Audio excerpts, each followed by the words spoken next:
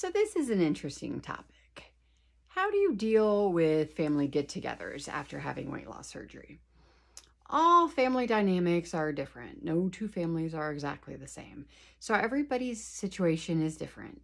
Uh, for me personally, uh, my family all knew I was having the surgery. And uh, I found that most people are pretty encouraging.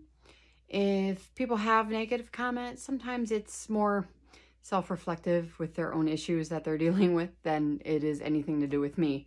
So my biggest piece of advice when it comes to dealing with family, if there's some conflict or if there's some issues and um, there's issues that you feel will make you uncomfortable after having had weight loss surgery and, and comments that you worry about being made and stuff like that, just remember most of the things that people say and do are more a reflection of themselves and a reflection of how they feel about themselves, whether it's insecurities or just issues with self doubt. So, anytime somebody makes a comment that can be hurtful or a comment that can be passive aggressive, just remember that person is dealing with an issue of their of their own and it doesn't have anything to do with you.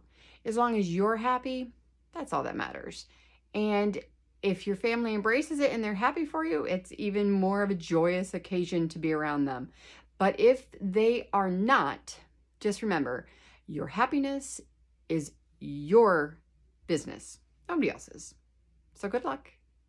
And uh, I'd love to hear any stories, any advice, anything uh, on this topic anybody would like to share.